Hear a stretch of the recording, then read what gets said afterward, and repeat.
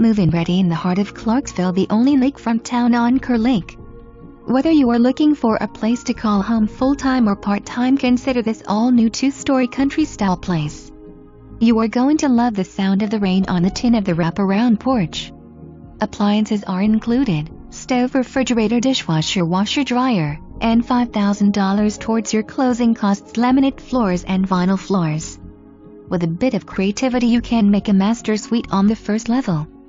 There is a huge carport boat shed for your Kerr Lake toys and the circle drive makes maneuvers with the boat trailer easy. Golf cart downtown or over to the marina this home sits up high overlooking Rose Hill Avenue make sure you take a look.